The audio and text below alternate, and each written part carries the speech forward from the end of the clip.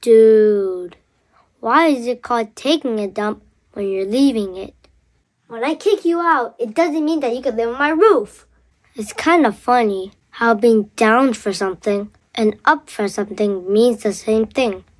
Well, can you at least help me fix my satellite dish since you're up there? If you're in the living room and you pass away, did you die or just knocked out? Well, you're not in my living room right now, so what does that make you? Why is the pizza box a square if a pizza is a circle and a slice is a triangle? Huh? Yo, why is it called a building if it's already built? Get off! How does a sponge hold water full of holes? Huh?